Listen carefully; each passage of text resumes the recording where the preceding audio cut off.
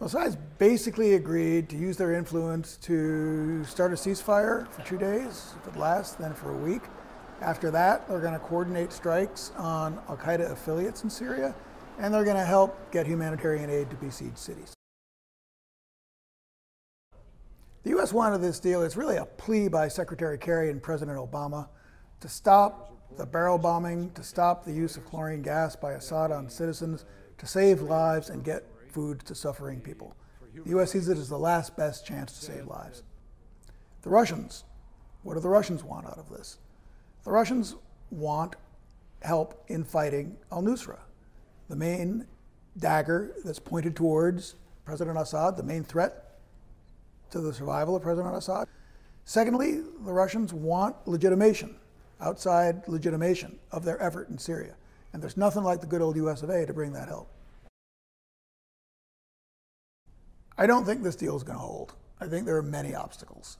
The president of Syria, Bashar al Assad, is not going to really stop fighting until the lines of control significantly shift and he controls most of Western Syria.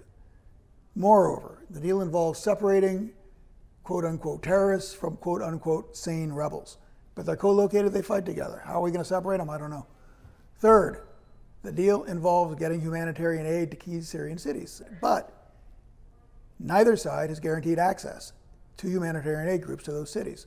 More generally, the Russians have a real bad track record on their commitments. They tend to agree to ceasefires in Ukraine and Syria, and they don't, they just don't respect them. So all in, I don't expect this to get us all that far.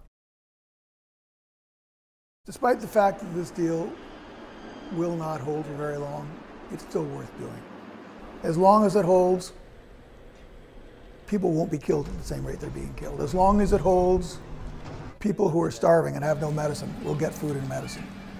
So that it's not a panacea, it's not a silver bullet. This won't end the crisis, but the deal is worth it, and it is commendable.